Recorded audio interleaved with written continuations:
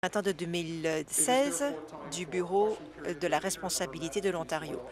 Le chef de sa loyale opposition, de Sa Majesté, merci. Ma question s'adresse à la première ministre. L'Ontario a souffert un autre recul fiscal à cause des actions de cette première ministre. L'Agence de code des crédits Moody's a diminué le crédit de stable à négatif à cause du budget électoral maudit, et je cite, les pressions reliées aux dépenses vont déséquilibrer la stabilité. Maudit suppose que le budget va mener à une tendance vers le fardeau de la dette et des plus grandes dépenses. Pourquoi est-ce que cette première ministre, dans sa son ambition de s'accrocher au pouvoir ajoute dans son budget des mesures qui vont nuire à l'Ontario. Merci beaucoup. Je sais que le ministre des Finances va vouloir faire des commentaires lors de la question complémentaire. Laissez-moi vous dire ceci. Cela fait partie du message que le député d'en face a négligé de dire. Moody's a confirmé notre code de crédit AA Moody's a ajusté son aperçu, mais euh, ce n'est pas un recul. La dette de l'Ontario est remarquable, ce qui reflète la confiance des investisseurs dans notre économie. Nous valorisons la rétroaction des agences de crédit, mais notre responsabilité sera toujours d'appuyer les occasions à saisir de la population de l'Ontario, les gens ne peuvent pas y arriver tout seuls. Le ministre des Finances travaille avec euh, les agences de code de crédit. Il va en faire des commentaires. Notre code de crédit a été confirmé. Nous allons continuer à travailler pour s'assurer euh, que les Ontariens ont tout ce qu'ils ont besoin. J'entends les signaux. Question complémentaire. Pour revenir à la première ministre, Monsieur le Président, ce n'est pas une prévision, c'est une condamnation de la politique fiscale du gouvernement. La première ministre aime dire qu'elle aime faire des choix conscients qui plongent l'Ontario dans un gouffre financier. Ce gouvernement s'est servi d'argent, des réserves et de la vente des actifs pour artificiellement équilibrer le budget. Ce n'est pas un choix conscient, c'est une conséquence ce gouvernement n'a plus rien à vendre. Nous avons besoin de plus d'argent pour payer l'intérêt sur la dette. Alors, Monsieur le Président, Moody voit bien que cette première ministre s'accroche au pouvoir. Est-ce que la première ministre s'attend à ce que les Ontariens ne s'en rendent pas compte? Au ministre des Finances. Le député d'en face cite Moody. Moi, je vais le citer également l'affirmation de la cote double A pour la province de l'Ontario reflète la capacité de la province de se fier à une base diversifiée économique avec des mesures euh, qui soutiennent une bonne base, beaucoup de flexibilité afin d'accommoder les pressions euh, des dépenses. Prouvez-le, les investisseurs investissent en Ontario pour une raison. Nous nous fions à l'engin économique du pays. Nous sommes le plus grand moteur qui contribue à tout le pays. Dernière question complémentaire. Pour revenir à la première ministre, ce que le ministre n'a pas dit, c'est que c'est le nombre de reculs que nous avons eus. La première ministre a eu des avertissements à, à propos des conséquences la vérificatrice générale nous a dit euh, que l'augmentation des intérêts va être difficile pour les services. C'est la raison pour laquelle les libéraux ont mis à pied 1600 infirmiers infirmières et fermé des hôpitaux. Les travailleurs de Sudbury ont peur pour leur emploi. Le manque de discipline du gouvernement est la raison pour laquelle il y a eu une condamnation de Moody's. On ne peut pas leur faire confiance. Est-ce que cette première ministre est fière que les intérêts des libéraux et la tentative désespérée de s'accrocher au pouvoir nuit à la réputation de l'Ontario?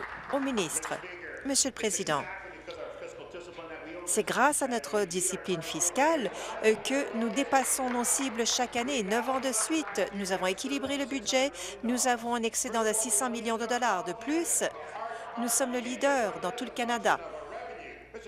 Monsieur le Président,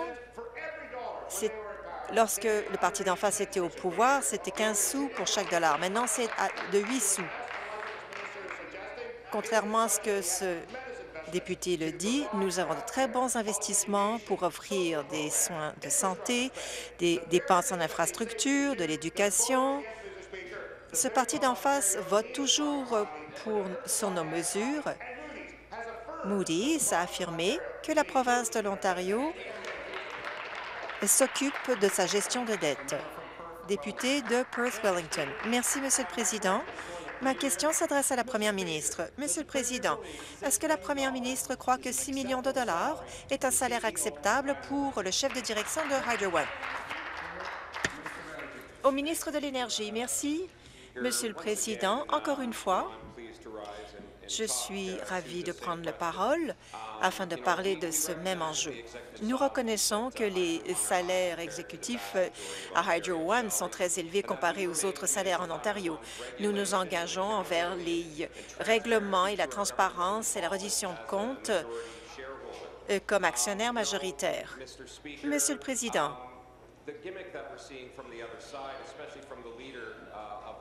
ces paroles superficielles qu'on entend surtout de la part du chef de ce parti va créer euh, tout un gâchis. Ce parti-là ne va pas diminuer les factures d'électricité de l'Ontario, pas un seul sou. Nous, nous avons accompli notre plan d'électricité équitable nous avons diminué les taux d'électricité de 25% en moyenne. Nous allons continuer à établir des politiques et pas euh, des slogans électoraux comme le parti d'en face. Député, à la Première ministre, à la Première ministre, est-ce que 6 millions de dollars est un salaire acceptable pour le chef de direction de Hydro One? Merci, Monsieur le Président.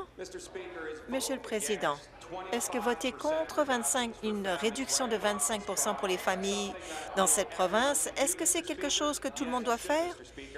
Oui, et c'est ce parti qui a voté pour. De l'autre côté de la Chambre, avant, on disait que c'était le parti qui n'avait aucune stratégie. Et maintenant, pendant une fin de semaine, ce parti d'en face a créé une stratégie et a gardé ce plan d'électricité équitable. Ce parti d'en face n'a pas voté pour, mais encore une fois, leur stratégie a disparu et encore une fois, c'est le parti qui n'a aucune stratégie. Ce parti-là peut seulement parler du salaire du chef de la direction de Hydro One. Nous reconnaissons que les salaires des exécutifs sont très élevés. Mais lorsqu'il est question de faire une différence et de diminuer les factures d'électricité, nous les avons diminuées de jusqu'à 50% grâce à nos actions, Monsieur le Président. Dernière question complémentaire, Député de Lambton-Kent, Middlesex, merci beaucoup à la première ministre. Il est choquant de voir les libéraux défendre leur homme à 6 millions de dollars. Monsieur le Président, comment est-ce que la première ministre peut, peut, défendre le salaire du chef de la direction de Hydro One? Au ministre, merci.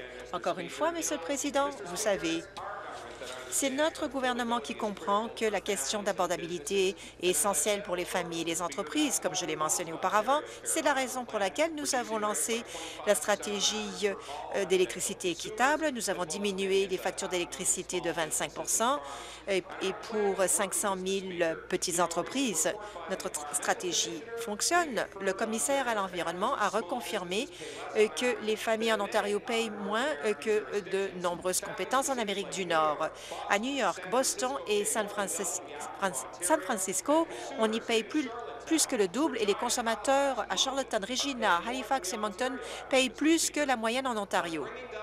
En diminuant les prix pour les clients, nous continuons à augmenter l'équité et nous créons plus d'occasions à saisir pour les familles de l'Ontario. Nous allons trouver des façons pour créer des politiques qui aident les Ontariens. Le parti d'en face peut avoir des slogans symboliques. Député de Nickel Belt.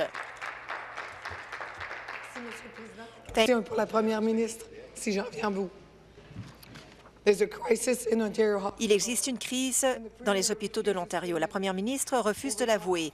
Depuis les 15 dernières années, c'est ce gouvernement-là qui a créé cette crise et après 15 ans, ce gouvernement ignore la crise et nie cette crise. Le chef de direction de l'hôpital Lakewood a dit, et je le cite, « Nous n'avons pas reçu l'augmentation de 4,6% d'augmentation mentionnée dans le budget provincial. Nous avons reçu bien moins que cette augmentation de 4,6% La première ministre doit avouer qu'il existe un problème. Et elle doit l'expliquer aux gens de Kenora la raison pour laquelle elle ne règle pas cette crise. Pourquoi est-ce que cette première ministre refuse de financer adéquatement nos hôpitaux? Eh bien, Monsieur le Président, j'ai eu le privilège ce matin d'être dans le centre orthopédique de Sunnybrook du centre Holland. Nous avons affirmé à nouveau notre investissement de milliards de dollars euh, dans notre budget et qui va être destiné spécifiquement aux hôpitaux pour diminuer les temps d'attente. Je reconnais qu'il qu'il existe des divergences dans la province. C'est la raison pour laquelle nous avons une stratégie euh, pour l'équité en matière de santé. Dans chaque dossier de la santé en Ontario, vous allez avoir un problème de géographie. Nous sommes une très grande province. La population est distribuée de façon inégale. C'est la raison pour laquelle il est important d'avoir une politique en matière d'équité. Je vais en parler davantage dans la question complémentaire. La députée d'en face c'est qu'en général, l'augmentation en moyenne aux hôpitaux est de 4,6% et il y a des variations lorsqu'il est question des augmentations. Question complémentaire. Lorsque le chef de direction d'un hôpital affirment publiquement que leur hôpital est sous-financé, nous avons un problème. Voici ce qu'il a dit. Nous avons des besoins qui n'ont pas été comblés. Il y a encore beaucoup de travail à faire et nous espérons qu'il y aura des appuis supplémentaires. Pourquoi pendant un an de plus, la première ministre ignore les besoins de notre système hospitalier? À la première ministre, nous reconnaissons qu'il existe un besoin d'avoir plus d'investissements dans les hôpitaux. Parlons de la stratégie de l'équité en matière de santé. Comme première ministre, j'aimerais beaucoup avoir une discussion avec le chef de direction de cet hôpital ou avec tous les chefs de direction des hôpitaux dans la province. Et car euh, ce sont ces personnes qui, sont, qui travaillent sur la première ligne lorsque nous avons élaboré notre budget. Nous, nous avons écouté ce qu'ils avaient à nous dire. Et nous avons écouté ce que l'association nous a demandé de faire la politique en matière de santé reconnaît, en matière d'équité en matière de santé, en matière de santé, nous dit qu'il y a encore des choses à faire. L'année dernière, nous avons annoncé 222 millions de dollars sur une période de trois ans afin d'appuyer le plan d'action pour les Premières Nations, y compris 145 millions de dollars par année, car nous reconnaissons qu'il existe des besoins. Nous avons annoncé 19 millions de dollars dans un fonds de capital pour euh, appuyer les établissements euh, de le Centre des sciences du Nord. Merci. Dernière question complémentaire. Les libéraux ont eu 15 longues années pour voir cette crise. Il y a eu 15 longues années pour régler le problème d'une population vieillissante. C'est un changement euh, qui s'annonçait depuis des décennies. Maintenant, il reste 50 jours. Ce gouvernement fait semblant euh, que le problème n'existe pas. La bonne nouvelle pour la population, euh, c'est qu'il y a de l'espoir. Les néo-démocrates vont mettre fin à la médecine de couloir. Pourquoi? Est-ce que cette première ministre a créé cette crise dans les hôpitaux. Comme je l'ai dit hier aux députés d'en face, nous avons investi un financement euh, pour aider le Centre des sciences du Nord, pour aider le système de santé dans la compétence qu'elle représente. Et notre député magnifique de Sudbury, nous avons augmenté ce financement de 10 millions de dollars sur une période de deux ans et c'est une augmentation très importante euh, pour euh, le Centre des sciences du Nord. Nous avons reconnu que dans toute la province, il existe un besoin d'avoir une augmentation dans le financement. Nous nous fondons sur les investissements que nous avons effectués chaque année. Il y a eu de grands investissements dans les soins de santé en foyer. La réalité est telle que de, nombreuses personnes veulent rester chez elles. Nous devons faire ensuite en sorte qu'il y ait des soins intensifs et nous avons augmenté les lits à 1200 à cause de l'éclosion de la grippe. Nous reconnaissons qu'il y a encore du pain sur la planche. Député de nouvelle question. Merci. À la première ministre, lorsque quelqu'un a besoin de soins de longue durée, il mérite de savoir qu'ils seront en sécurité. Il mérite d'être traité de façon digne, avec respect, mais hier, nous avons appris qu'il y a quelque part à Thunder Bay où il y a 44, et je répète, 44 ordres de non-application de la loi. La première ministre est au pouvoir depuis 15 ans. Comment est-ce qu'elle a pu permettre à cette situation de se produire? La première ministre, comme je viens de le souligner dans mon, ma réponse, c'est que de plus en plus de gens veulent demeurer dans leur foyer. Et cela signifie qu'il y a eu de grands investissements qui ont été faits dans les soins à domicile. Nous avons aussi rénover plusieurs lits euh, dans la province. Nous en construisons plus. Nous sommes dans le processus d'ouvrir nous 5 000 nouveaux lits de soins de longue durée, mais on regarde aussi des modèles de financement pour euh, les communautés de retraite qui se produisent de façon naturelle pour les aînés qui vivent déjà dans un appartement, par exemple à Kingston. Euh, Oasis, je crois que c'est le nom de l'endroit où ces aînés vivent ensemble. Ils veulent rester dans cet endroit. Ils ont un soutien médical avec des préposés de soutien des soins à la personne. Il y a plusieurs éléments qui sont en place et on reconnaît qu'il faut faire plus. Complémentaire. Et si on essayait d'avoir du personnel pour aider les lits qui existent déjà? Dans les centres, beaucoup de résidents ne reçoivent qu'un seul, n'ont reçu qu'un seul bain au cours du mois de janvier. Un bain par mois.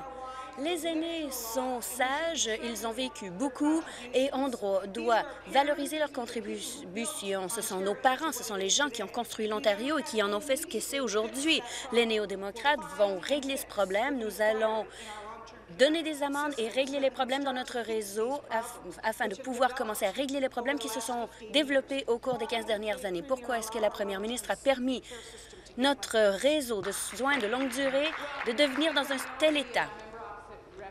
La première ministre, la députée a fait référence à une situation spécifique à Thunder Bay. Je sais que le député d'Atikokan rencontrera les gens sur le terrain demain. Monsieur le Président, la réalité, c'est qu'en termes de soins de longue durée dans cette province, tous les foyers sont supervisés par un système rigoureux, un cadre rigoureux, réglementaire qui inclut des inspections pour nous assurer de, la conformité. Tous les résultats de ces inspections sont publiés en ligne et dans les foyers eux-mêmes. Je reconnais qu'il faut être vigilant. On parle des gens les plus vulnérables de notre société, ce qui fait en sorte qu'on a amélioré la supervision nous continuerons à travailler avec les foyers de soins de longue durée afin que les règles soient appliquées. Complémentaire final. Eh bien, ces 44 ordres de non-conformité ne sont pas produits du jour au lendemain. Le personnel est dévoué euh, et veut s'occuper du bien-être de leurs patients, mais parfois ça prend plus qu'une heure pour euh, répondre à l'appel d'un résident. Les histoires que nous avons entendues sont des histoires crève-cœur. Tout le monde se sent très mal lorsque ça se produit. Quand est-ce que la première ministre a entendu parler de ce problème dans notre système et pourquoi est-ce qu'elle n'a pas réglé le problème? La première ministre, comme je l'ai dit, depuis déjà quelque temps, on agit afin d'appuyer notre population vieillissante, en croissance d'ailleurs, et d'améliorer la vigilance dans le système des soins de longue durée. On reconnaît, comme je l'ai dit, que ce sont parmi les gens les plus vulnérables de notre société et ces personnes méritent d'obtenir tous les soins possibles. Nous continuerons de nous assurer que les foyers se plient aux règles, que nos membres travaillent avec les foyers locaux, mais qu'il y a aussi un système de supervision et d'inspection. C'est légitime de soulever des questions dans une situation telle que celle-ci.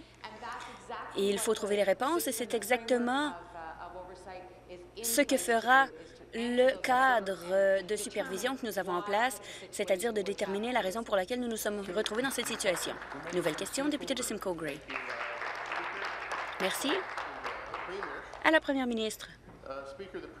La première ministre a tenu une autre, euh, un autre événement de style, de campagne à l'hôpital de Toronto ce matin et elle sera au centre-ville plus tard euh, aujourd'hui pour faire d'autres annonces chaleureuses. Il faut mettre fin à la fête avec l'argent des contribuables. J'aimerais savoir combien ça coûtera aux autres contribuables, ces événements ce matin. La première ministre, encore une fois, je comprends la raison pour laquelle le député se concentre sur cet élément et non pas la substance de l'annonce que nous faisons qui a notre budget. Parce que de faire un investissement de près d'un milliard de dollars dans les hôpitaux pour améliorer les temps d'attente, alors que nous menons déjà le pays en termes de temps d'attente, cet après-midi, intervention du président. Je vais donner un peu de crédit aux gens. On s'est rendu jusqu'ici sans avertissement. J'aurais bien aimé voir euh, la période des questions au complet. Faisons-le. D'accord? La première ministre, cet après-midi, je parlerai du changement climatique avec Michael Bloomberg et le changement climatique dans le contexte de la responsabilité des entreprises. C'est un sujet qui ne veut pas être abordé par le député. J'en suis très sérieuse. J'en suis très certaine. Complémentaire. Même si la première ministre veut prétendre le contraire, elle fait campagne avec l'argent des contribuables. Ça manque d'éthique. Ça manque d'éthique et c'est louche. Intervention du président. Je demande aux députés de retirer ses propos. Je retire mes propos. Encore une fois, les libéraux utilisent l'argent des contribuables, encore une fois, pour euh, des opérations photos de style de campagne. Honte à vous. Est-ce que le parti, de le, est-ce que le gouvernement fera ce qui est approprié, remboursera les contribuables pour... Euh, euh, l'argent dépensé au cours de ces annonces qui sont vraiment un début de campagne électorale aux leaders parlementaires du gouvernement. Je remercie le député de l'autre côté d'avoir souligné que les ministres font leur travail. Ils font des annonces, parlent des éléments importants pour les Ontariens et Ontariennes. On fait notre travail. Mais ici, il est évident que le de l'autre côté et Doug Ford. Panique. Ils s'inquiètent. Les gens vont réaliser qu'ils feront des compressions, qu'ils vont se débarrasser de l'assurance Santé Plus, qu'ils arrêteront l'élargissement de ce programme, qu'ils vont faire des compressions aux investissements pour diminuer les temps d'attente, qu'ils vont faire des compressions à l'appui aux étudiants, à la RAFEO, des milliers d'élèves qui vont à l'école, à l'université, sans payer de frais de scolarité. Ils s'inquiètent que ces politiques euh, qui font une différence à la vie des gens, qu'on fera des compressions à ces programmes, mais le, parti de l'autre côté ne veut pas qu'on se rende compte qu'ils le feront. Nouvelle question, député de Welland. Merci. À la première ministre, 3 000 personnels de l'Université de York sont en grève et ils prennent une position contre le manque de financement de l'université et leurs emplois qui ne sont pas sécures. Des dizaines de milliers d'étudiants à York font maintenant face à vraiment une menace de ne pas obtenir leur diplôme. Ils avaient fait leur plan d'avenir et d'académique qui ne se produiront probablement pas. J'ai parlé à une dame à l'Université de York qui me disait qu'alors que la euh, grève dure, certaines personnes pourront perdre leur placement en stage. Qu'est-ce que la première ministre a à dire à ces étudiants qui n'attendent que le retour du personnel en salle de classe? À la ministre de l'Enseignement supérieur et de la formation professionnelle. Vous savez, cette situation représente un grand défi, tout particulièrement pour les élèves à l'Université de York depuis le début de la grève. Et depuis le début, je suis très claire sur le fait que notre priorité est axée sur les étudiants, sur le fait qu'il faut s'assurer que les deux côtés se rassemblent afin d'avoir une résolution juste pour les deux côtés, afin que nous puissions vraiment mettre les élèves à l'avant-plan et les ramener en salle de classe pour qu'ils fassent l'apprentissage qu'ils veulent obtenir. Malheureusement, un accord n'a pas été atteint. Le ministre du Travail a apporté son appui à ce processus depuis le début. On a nommé un commissaire afin d'avoir des discussions. Plusieurs rencontres ont été tenues. Et les deux côtés doivent se parler afin d'obtenir une résolution. À la première ministre, un autre étudiant m'a contacté hier.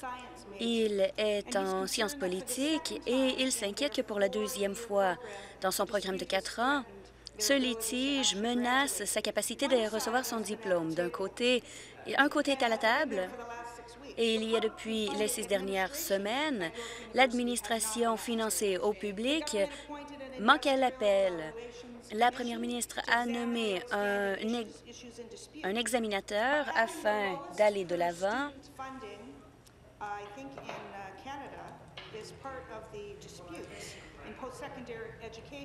En éducation postsecondaire, on a un grand problème sous ce gouvernement et la première ministre est tellement sous pression et, la première ministre doit aller de l'avant et forcer les deux côtés à retourner aux négociations. La, la ministre, ma priorité sur euh, les interventions du président.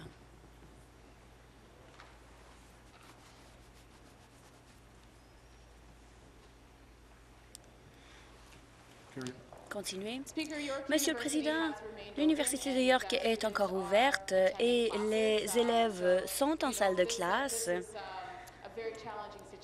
C'est une situation très difficile. J'ai communiqué avec les deux côtés plusieurs fois. C'est une situation très difficile dans laquelle on se retrouve. On respecte le processus de négociation collective et des deux côtés, il faut penser à un compromis. Pensez aux besoins des étudiants, retournez à la table et résolvez cette, euh, problème, euh, ce problème. Nouvelle question. Député de Berry. Au ministre de l'Énergie, en 2014, l'Ontario a signé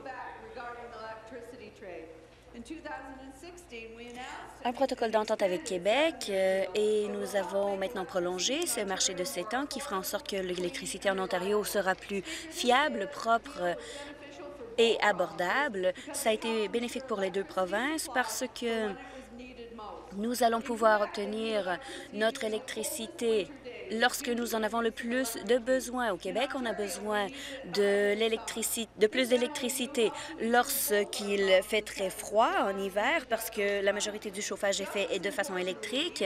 Et ici, c'est l'été dont nous en avons besoin.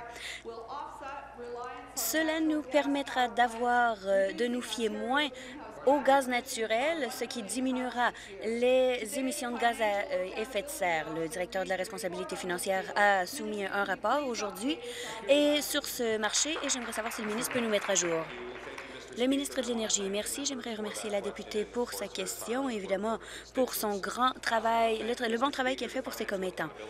Le directeur de la responsabilité financière a soumis son rapport et analyse de notre euh, accord de marché avec Québec sur l'électricité. Comme la DCT le sait, le, sait très bien, euh, dans nos deux provinces, les heures de pointe sont différentes, ce qui signifie qu'il euh, faut avoir une coordination des systèmes qui bénéficiera aux deux provinces par l'élargissement de notre marché. Par ce marché, nous allons importer 2 terawatts d'énergie provenant du Québec. C'est de l'énergie hydroélectrique qui euh, est très propre.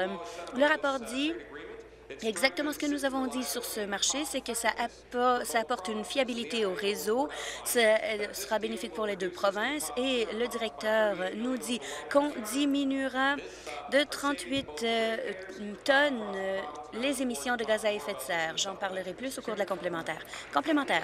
Monsieur le Président, je remercie le ministre de sa réponse. Une autre partie de ce projet, de ce, cet accord est de, un accord de diminuer les émissions de gaz à effet de serre au cours des dernières années. Nous sommes un chef de file dans la lutte contre le changement climatique. L'an dernier, notre système était, sans émissions à 95 C'est dû aux plus de 70 milliards de dollars qui ont été investis dans le réseau depuis 2003, qui a mené à la fermeture des centrales électriques au charbon. On a réussi à diminuer notre empreinte de carbone. Et il y a deux jours, Jerry Brown nous a de ce qui se passerait si on laissait faire les entreprises. Est-ce que le ministre peut nous expliquer la façon dont cet accord euh, de marché électrique nous aidera à diminuer nos émissions de gaz à effet de serre. Le ministre, la députée a raison lorsqu'elle souligne que l'Ontario est devenu un chef de file dans la lutte contre le changement climatique. La semaine dernière, le commissaire à l'Environnement l'a souligné. En remplaçant l'électricité produite au charbon avec la conservation nucléaire et le gaz naturel, a diminué les émissions de gaz à effet de serre et a augmenté la capacité de notre électricité. Et elle a aussi dit que de retirer le charbon du réseau d'électricité a diminué les émissions de gaz à effet de serre et a amélioré la qualité de l'air et la santé publique. Et maintenant, le rapport confirme que cet accord aura comme résultat de changer 2,3 de terawatts euh, d'électricité par année et diminuera de 1 million de tonnes nos émissions par année. C'est un grand changement. Notre gouvernement continue de s'assurer que notre réseau soit propre, abordable et fiable. Député de Lanark, Frontenac, Lennox et Addington, nouvelle question. À la première ministre. Cette première ministre aime parler et parler d'équité, mais lorsque l'on parle d'action, elle ne met pas la parole à l'action. Le gouvernement s'obstine sur la transparence dans nos tribunaux. Intervention du président.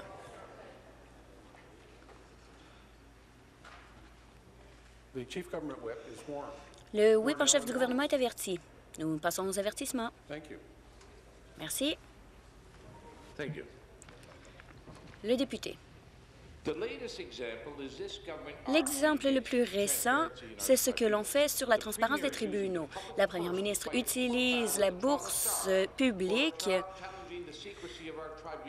parce que le Toronto Star a remis en question le secret qui entoure les tribunaux et qui garde des, des renseignements sur des poursuites qui sont pourtant payées par le, par le public d'abuser des deniers publics afin que les renseignements soient mis sous, secret va à l'encontre de ce qui doit être fait.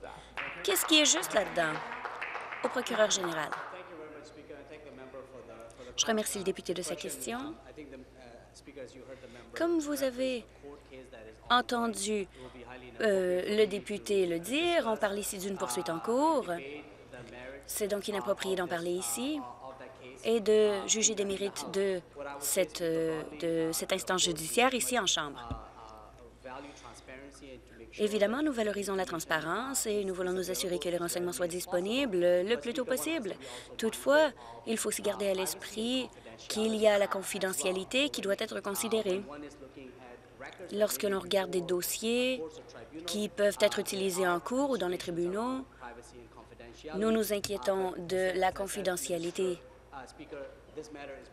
et comme je l'ai souligné, on parle ici d'une instance en cours et je ne peux commenter plus longuement.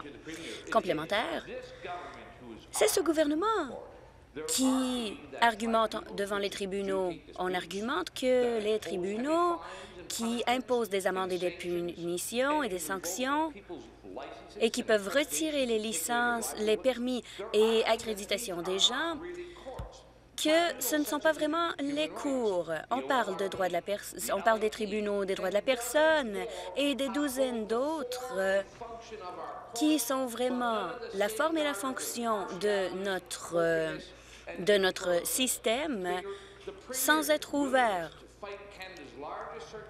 La volonté de la première ministre de s'attaquer à l'un des journaux les plus importants au Canada soulève des problèmes, des inquiétudes. Il est temps que, ce que cette première ministre demande aux tribunaux d'être ouverts et pourquoi est-ce que cette première ministre essaie de frustrer et changer les principes de base des tribunaux ouverts qui sont essentiels pour notre système juridique? Monsieur le Président, le député d'en face le sait très bien que c'est un sujet qu'on ne peut pas aborder ici devant la Chambre. On ne peut pas en débattre parce que c'est un sujet qui est devant les tribunaux. Et comme vous l'avez noté par le passé, Monsieur le Président, il y a des règles qui exigent de la part de tous les députés de ne pas participer dans euh, euh, des commentaires, de, faire des commentaires euh, au sujet d'instances devant les tribunaux et j'ai la responsabilité que l'administration de la justice dans notre province est euh, indépendante de toute préoccupation partisane. Donc, je ne peux pas apporter de commentaires sur ce dossier en particulier, mais de tout simplement dire que la transparence, la redevabilité, ce sont des principes que nous tenons en étant euh, très chers, en étant très importants mais on doit assurer la confidentialité de l'information aussi. Député de Niagara Falls. Merci. Ma question est à la première ministre. Hier soir, dans ma circonscription, j'ai eu une audience publique avec ma collègue de Nickel Belt sur la santé, de dire qu'il n'y a pas de crise dans la santé, mais on a des gens qui ont parlé des soins de longue durée, de l'accès des soins de santé, de santé mentale et de la médecine des en couloir. Et je peux vous assurer qu'il y a véritablement une crise une des personnes nous a raconté une histoire au sujet d'une jeune fille qui a de la difficulté à avoir des soutiens en santé mentale.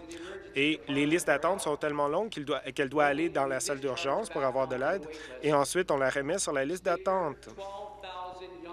12 000 jeunes personnes, comme elle, attendent pour des euh, soins de santé mentale. Avec les ressources que nous avons dans notre province, comment est-ce que la première ministre et le gouvernement libéral permettent que cela se produise? Euh, première ministre, bien, Monsieur le Président, je donne l'exemple de, familles euh, qui ont des enfants qui cherchent d'avoir des soutiens en santé mentale, mais je pense que nous reconnaissons tous en tant que société, nous avons dû, euh, nous devons améliorer nos soutiens pour la santé mentale. Il y a eu de très bonnes campagnes durant la dernière décennie, Monsieur le Président, qui ont mis en lumière la santé mentale et ont sensibilisé les gens en ce qui concerne les troubles de santé mentale. Let's Talk en est un exemple mais euh, il y a des députés dans chacun de nos caucus qui ont travaillé dans leur propre collectivité, dans euh, la province, pour euh, soulever, pour sensibiliser les gens auprès des, troubles de santé mentale. La réalité est qu'il y a 25 ans, on n'a pas reconnu les troubles de santé mentale en étant aussi importants qu'ils le sont dans les conseils scolaires et dans les services communautaires, on doit en faire plus. Et c'est pour cette raison que nous investissons des milliards de dollars dans les soins de santé mentale et c'est euh, dans notre budget. Euh, complémentaire, merci à la première ministre. Je peux vous dire qu'hier soir, les histoires étaient euh, scandaleux, choquants et on a tous pleuré. Moi y compris. On a entendu un récit d'une personne où sa grand-mère est en sur une liste d'attente pour avoir accès à un lit de soins de longue durée. Elle a été facturée par le système de soins de Niagara. Elle a reçu une facture de plus de 3 000 Est-ce que la première ministre pourra nous expliquer pourquoi les personnes âgées sont facturées des milliers, des milliers de dollars pour un séjour dans un hôpital, tout simplement parce que le gouvernement a créé une pénurie de lits de soins de longue durée? Réponse, je dois avoir, euh, je n'ai pas les détails de cette situation, je ne les connais pas, donc, euh, mais certainement, nous reconnaissons que si une personne a besoin de soins de longue durée, intervention du président.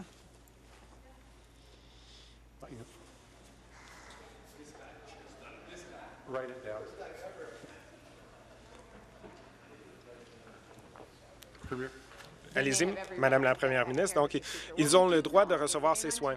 Mais ce que nous savons qu'en Ontario, maintenant, il y a toute une gamme, une série de soutiens qui sont nécessaires. Nous ouvrons de plus en plus de lits de soins de longue durée, 5 000 nouveaux et ensuite 30 000 sur les dix prochaines années et nous reconnaissons qu'on doit en faire encore plus. Mais il y a aussi des lits de transition qui sont nécessaires. On doit aussi s'assurer que les gens ont euh, accès aux soins à domicile qu'ils ont besoin. Donc, il y a toute une série de soutiens. Député de Davenport, merci. Ma question est au ministre de Tourisme, de la Culture et des Sports.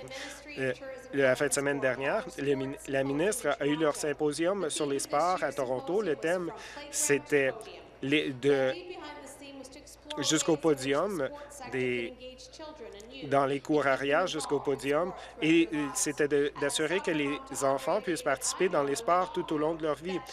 Nous savons tous que les enfants qui participent dans des sports organisés ressentent des bienfaits dans tous les aspects de leur vie, non seulement en ce qui concerne leur santé physique. Avec la rétroaction qu'on a reçue lors de ce symposium, nous allons continuer de bâtir sur les avancées que nous avons faites pour aider aux enfants de se déplacer et de participer dans les sports. Est-ce que vous pourriez nous dire ce que nous avons déjà fait pour appuyer la participation dans les sports? Ministre de la Tourisme, du Sport et de la Culture. Merci. Je voudrais remercier la députée de Davenport euh, de sa question. le symposium des sports était euh, extraordinaire. On a lancé les prix une cérémonie de prix. Les enfants doivent savoir qu'ils s'inscrivent dans un système qui va toujours les aider. Euh, nous avons aussi lancé le plan d'action pour les filles et les femmes pour leur donner d'avoir une, une, chance égale dans les occasions, dans les sports. Avec la loi Rowan, nous avons aussi adopté certaines mesures pour aider et appuyer, protéger les athlètes.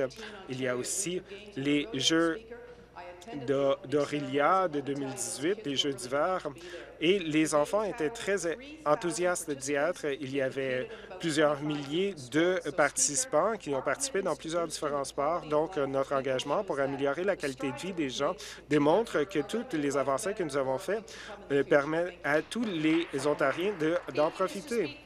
Complémentaire, merci à la ministre de sa réponse et je suis sûr que euh, toutes les filles sont contentes d'avoir euh, d'avoir entendu notre plan d'action pour les filles et les femmes. C'est extraordinaire de voir que le ministère a appuyé 24 programmes qui permettent de financement pour des demandeurs de financer des événements amateurs et professionnels en Ontario et permettent d'avoir une croissance économique en faisant la promotion d'événements locaux et que notre bon travail euh, profite aux athlètes. Mais il y a toujours une marge de manœuvre pour s'améliorer. Est-ce que la ministre pourrait nous donner d'autres informations au sujet des programmes qui font la promotion d'une vie active? À la ministre, merci à la députée. Et j'ai de bonnes nouvelles à ceux qui sont dans la tribune ici aujourd'hui. L'année dernière, nous avons investi 50 millions de dollars pour faire la promotion dans la participation des sports et pour bâtir la capacité. Nous nous sommes aussi engagés à l'investissement dans des programmes parascolaires qui, fait, permet à 22 000 enfants et jeunes d'avoir des occasions de participer dans les sports, la nutrition et le mieux-être. Et la semaine dernière, nous avons lancé notre rapport de progrès annuel qui permet aux athlètes et aux entraîneurs et aux arbitres de, euh, participer dans les sports. Et on appuie 50 000 organisations, 60 organisations sportives partout dans la province. Nous faisons la promotion de la vie active. C'est pour cette raison que nous finançons 90 millions de dollars pour qu'il y ait plus de pistes cyclables partout dans la province. Et je veux aussi mettre l'accent sur le fait que nous avons présenté aussi la législation la plus rigoureuse pour la protection des usagers de la route, ceux qui sont vulnérables surtout. Député de Bruce Gray Sound, nouvelle question. Merci, Monsieur le Président. Ma question est à la Première ministre. Je vais vous lire une citation d'un article de Toronto Law. Ils ont découvert que le lit était dans la zone orange où les patients doivent être mis lorsqu'il n'y a pas de lit disponible. Le lit était contre le mur il n'avait aucun endroit où s'asseoir, donc il est resté debout jusqu'à ce qu'une infirmière lui apporte une chaise. Il n'y avait pas de lumière pour éteindre, afin de l'éteindre. C'était pour être le domicile de la personne pour les 18 prochaines heures. Est-ce que c'est un système de soins dont vous êtes fière, Madame la Première ministre? Euh, Première ministre, Monsieur le Président, nous reconnaissons que nous devons continuer d'investir dans les systèmes de soins de santé 500 millions de dollars pour le budget de l'année précédente et cette année, 822 millions de dollars. Nous reconnaissons qu'alors que la population vieillit, il y a des gens qui sont euh, plus malades, qui ont besoin de plus de soins. Et c'est pour cette raison, dans notre budget, nous avons apporté de grands investissements. Nous investissons 5 milliards de dollars de plus pour les trois prochaines années pour améliorer l'accès et, et d'offrir plus de services dans la province. Et ce que cela a compris, c'est 2,1 milliards de dollars pour un meilleur accès envers les services de traitement pour la dépendance et la santé mentale. Il y a aussi l'assurance Santé Plus qui est offert à ceux euh, de moins de 25 ans et de plus de 65 ans qui sera euh, ajouté. Nous investissons aussi 822 millions de dollars de plus et c'est le plus grand investissement unique dans les hôpitaux de l'histoire de la province. À la première ministre, n'oubliez pas que vous avez gaspillé 800 millions de dollars, 8 milliards de dollars sur la santé numérique, mais vous aviez eu 15 années pour améliorer les choses, mais la situation s'est empirée lorsque le mari est allé voir sa femme, il a été surpris qu'elle était encore dans la même salle. Elle était là, dans les couloirs, et elle attendait dans un des, plus grands hôpitaux de la, du pays, et elle attendait 38 heures. Est-ce que la première ministre croit que c'est acceptable d'attendre 38 heures dans les couloirs afin d'attendre pour des soins? Est-ce que c'est vraiment la Ligue que la première ministre veut? Euh, merci. Euh, je ne comprends pas pourquoi euh, le député veut miner la réputation de Sunnybrook. Député de Bruce Gray Sound est averti. Veuillez compléter. J'étais à Sunnybrook ce matin, bien sûr, Monsieur le Président, lorsqu'il y a des incidents comme celui-ci, mais je ne connais pas les détails de cet incident précisément, mais lorsqu'il y a des incidents comme celui-ci, c'est inacceptable, absolument. Mais, Monsieur le Président, la réalité est qu'il y a des choses extraordinaires qui se produisent dans les hôpitaux partout dans la province ainsi qu'à Sunnybrook. Nous savons que les 822 millions de dollars que nous investissons en faisant partie de notre budget permettra d'offrir 22 000 euh, euh, heures d'opération de, de l'IRM 3 000 autres opérations cardiaques. Et nous savons que ces investissements sont nécessaires, mais, Monsieur le Président, mais déjà, les travailleurs de première ligne partout dans la province font un travail extraordinaire pour les Ontariens. Nouvelle question, député d'Oshawa. Merci, Monsieur le Président. Ma question est à la première ministre. Plus tôt cette semaine, j'ai été déçu lorsque le ministre a refusé de s'engager à mettre euh, fin aux limites sur les congés pour les travailleurs du domaine de l'automobile. Ils méritent d'avoir les mêmes normes que tout autre travailleur dans la province. C'est inacceptable. J'ai entendu aussi que non seulement que les nettoyeurs dans le domaine ont vu leur titre être redésigné pour qu'on puisse retirer leurs congés et leurs avantages, mais il y a aussi des travailleurs dans la province qui ont aussi donné des avis qui leur permettront aussi euh, aux employeurs, ils ne donneront que sept journées de congé et c'était des employeurs qui donnaient dix auparavant.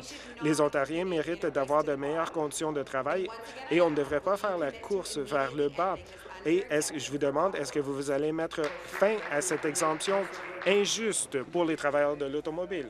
Ministre du Travail. Merci de la question. Le 1er janvier 2007, nous sommes allés parler aux euh, parties prenantes dans l'industrie et dans d'autres personnes avec des consultations, les syndicats, les entrepreneurs, les propriétaires, tous ceux qui participaient dans le secteur de l'automobile en Ontario et c'est un secteur qui est en très bonne santé et qui a reçu beaucoup de soutien de la part de notre gouvernement. Ce que nous avons mis en place, c'est un projet pilote. On voulait se pencher sur le secteur de l'automobile et de voir s'il y avait une différente façon d'offrir des congés d'urgence personnels qui seraient logiques et de prendre en compte l'aspect concurrentiel de d'autres aspect unique du secteur de l'automobile. Nous ça fait un an que le projet pilote est en place. Nous continuons de parler à ceux qui, sont, qui participent dans cet enjeu. Et c'est un projet pilote. Et vous avez mon engagement que nous allons en faire une euh, étude très approfondie de ce projet pilote complémentaire. Merci, Monsieur le Président d'appeler quelque chose un projet pilote euh, euh, n'enlève pas le fait que c'est discriminatoire. Si vous ne faites pas ce qui s'impose, moi, je vais le faire. Euh, je vais être joint par des députés, des personnes de, de l'UNIFOR et moi, je vais déposer un projet de loi pour la justice dans le domaine des travailleurs dans le secteur de l'automobile. Nous, nous allons nous assurer que tous les travailleurs en Ontario auront accès au nombre minimal de congés. Sans exception, nous allons fermer l'échappatoire que les libéraux ont créé. Moi, j'ai rédigé le projet de loi. Est-ce que vous, vous allez vous assurer et de vous engager que cela devienne une loi avant la prorogation du Parlement actuel? Euh, ministre, merci de la complémentaire, Monsieur le Président. La semaine dernière, le ministre des Transports et moi, on est allé voir Jerry Dias, le, président d'Unifor, et on a parlé aux travailleurs syndiqués et non syndiqués. Et je pense qu'on est tous sur la même page que maintenant, le temps d'évaluer l'efficacité du projet pilote, si ça fonctionne ou si on doit la changer. Intervention du président. Député de Windsor-West a été averti.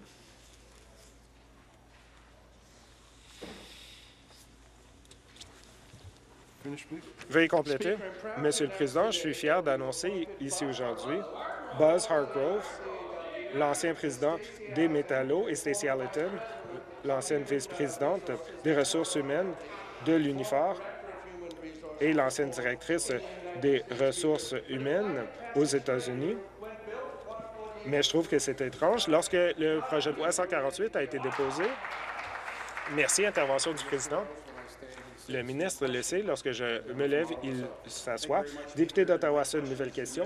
Ma question est au ministre des Services à l'enfance et à la jeunesse. Euh, les services de traitement permettent des services de réhabilitation aux jeunes et aux enfants qui ont des besoins spéciaux. Il y a 21 de ces centres partout dans la province qui offrent des services à plus de 81 000 enfants et jeunes avec des besoins spéciaux. Le mois dernier, j'étais fier d'être avec la présidente, la première ministre, dans l'hôpital de l'Est de l'Ontario et pour notre engagement envers le centre de traitement des enfants. Et je sais que la première ministre a annoncé à Oakville un nouveau centre qui sera ouvert là-bas. Est-ce que vous pouvez partager avec nous les détails de cette annonce, Monsieur le ministre? Ministre des Services à l'enfance et à la jeunesse, merci, Monsieur le Président. Je voudrais prendre quelques moments pour reconnaître tous les très bons travaux du député d'Ottawa-Sud et de son travail continu pour appuyer les, euh, centres de traitement pour enfants à Ottawa. J'étais avec la première ministre, le ministre du Travail, euh, le président du Conseil du Trésor, ministre de l'Éducation à Aaron Oaks plus tôt cette semaine et nous avons eu l'occasion d'avoir des rencontres avec de très belles familles, des familles extraordinaires. Je suis contente de, euh, que notre gouvernement a investi 163 millions de dollars pour compléter ce projet. Monsieur le Président, c'est un agrandissement. On double la superficie euh, à plus de 3 000 pieds carrés à Mississauga, euh, Brampton et Oakville. Député de Oakville a milité pour ce projet pendant plusieurs années. Je veux saisir cette occasion pour le remercier de vraiment bâtir un établissement qui est meilleur pour mieux desservir les familles partout dans cette région. Et complémentaire, merci, Monsieur le Président. Merci au ministre de sa réponse. Monsieur le Président, les centres comme Aaron Oaks et le centre de traitement pour les enfants à Ottawa permet aux enfants avec des euh, troubles cognitifs et physiques d'avoir les traitements dans leur propre collectivité et nous allons continuer d'appuyer les centres de traitement pour les jeunes avec des besoins spéciaux. Et alors que c'est très important d'investir dans les centres eux-mêmes, on doit aussi investir dans les services de très bonne qualité. Donc, au ministre, est-ce que le ministre pourrait nous donner plus d'informations au sujet des investissements pour les enfants avec des besoins spéciaux? Au ministre, merci. La semaine dernière, lorsque je me suis joint au représentant de ce gouvernement, Aaron Oaks, j'ai pu voir de mes propres yeux la très bonne qualité des services intégrés qui sont développés et offerts avec notre stratégie pour les enfants et avec les besoins spéciaux. Euh, et des aider le plus tôt possible. mon ministère investit plus de 630 millions de dollars en services cette année seulement.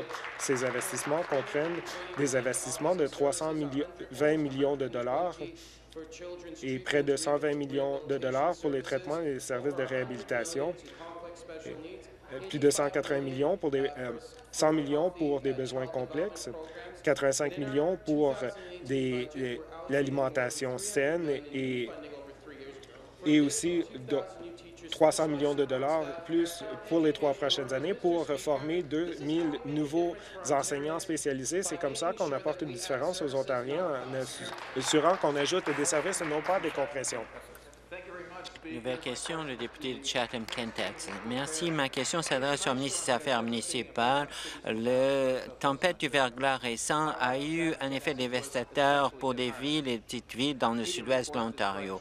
Ma circonscription de Chatham-Kentax a été particulièrement frappée et il y avait des vents forts et des fortes pluies et j'ai parlé à John Patterson, maire de Leamington, qui dit qu'il essaie de dévaster. Et il y a eu de l'érosion au, bord euh, du lac. Il y a aussi des routes qui ont été complètement euh, euh, prises et détruites.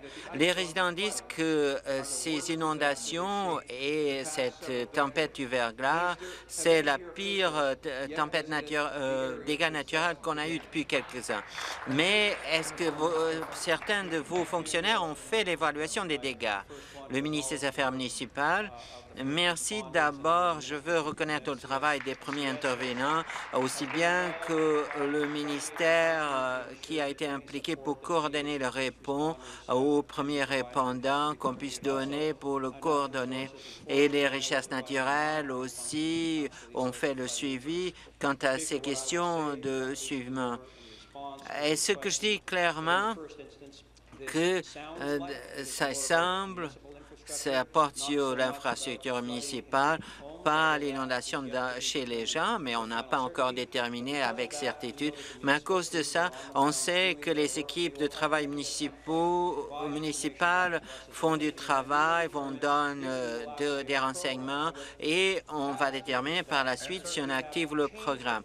On a changé le programme, je veux ajouter, on a baissé le seuil de l'infrastructure municipale de 4% à 3 et donc, il y a une possibilité, suite à un qu'on active le programme. Merci. Question complémentaire? Je reviens au ministre. J'ai apprécié la réponse, Monsieur le ministre. Plus de 3 500 35 000 plutôt euh, clients d'électricité étaient sans pouvoir. Il y a eu beaucoup de priorités étaient détruites, des, maisons et on les premiers intervenants ont restauré les services et j'apprécie vos commentaires. Beaucoup de résidents étaient coincés à suite aux, aux inondations et je veux les remercier personnellement comme vous l'avez fait. Mais comme vous avez mentionné, c'était des dégâts sévères. Vous votre ministère avait promis d'aider pendant les inondations du sud-ouest de l'Ontario. C'était il y a quelques mois et, j'apprécie votre visite. Et nous, Monsieur le, euh, le ministre, on doit travailler ensemble. C'est pas important ici, c'est pas nous, c'est les concitoyens. Qu'est-ce que vous allez faire spécifiquement pour nous aider cette fois-ci? Merci. Réponse du ministre.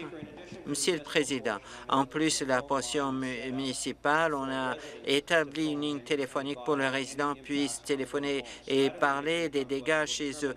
quand on aura ces renseignements, on va décider si il faut faire des visites pour voir s'il y a des choses euh, des circonstances personnelles. Comme le député le dit, c'est des sports sur les gens. C'est une situation grave, un enjeu grave. Mais je dois faire le commentaire qu'un point, il faut avoir un signal de l'autre côté, vous et votre chef, que vous allez comprendre et vous euh, comprendre que les choses ont changé. Je vais donner des statistiques.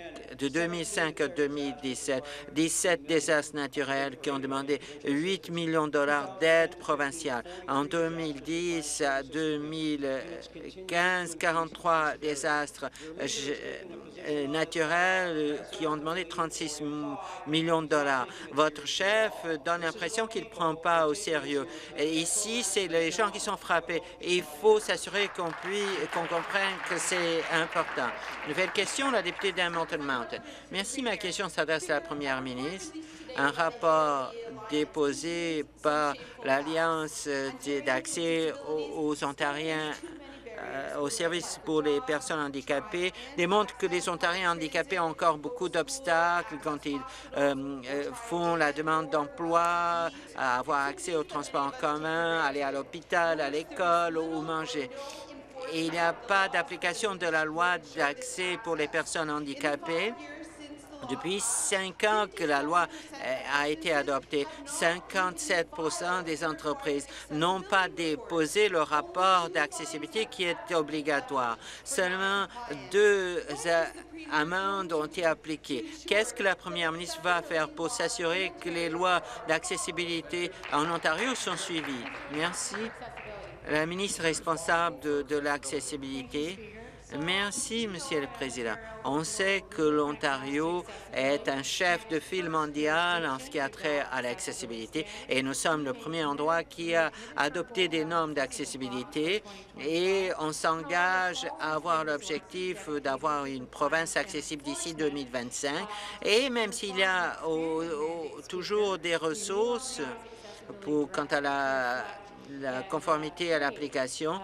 Et on a réorganisé le directorat d'accessibilité pour refléter et créer une, euh, une direction de la conformité de l'application. Et je suis très content que euh, les taux ont augmenté. 24 des entreprises ont complété leur rapport de conformité de 2017, c'est-à-dire 20 d'augmentation. Plus de 6 000 entreprises ont déposé un rapport pour la première fois. Il y a des taux plus élevés d'une entreprise, des organismes sans but lucratif pour rendre l'Ontario plus accessible. Un rappel au règlement du député d'Alderman Norfolk, il y a Rod Smith, qui, qui a sa douzième euh, année de l'école secondaire Simcoe, qui est une école nommée après John Gravesend, le premier lieutenant-gouverneur. La députée d'Oshawa rappelle au règlement et je suis très content de souhaiter la bienvenue à Emile Notebook euh, du Unifor 405 et euh, Joel Smith euh, du syndicat local 222. La députée Port. Plus tôt, j'ai présenté tous les euh, filles du gouvernement, mais je n'ai pas présenté Daniel Bell qui est ici, qui va rejoindre le groupe de filles. Euh, bienvenue, Daniel. Vu qu'il n'y a pas de vote différé, la séance, euh, la Chambre est en pause jusqu'à 15 heures.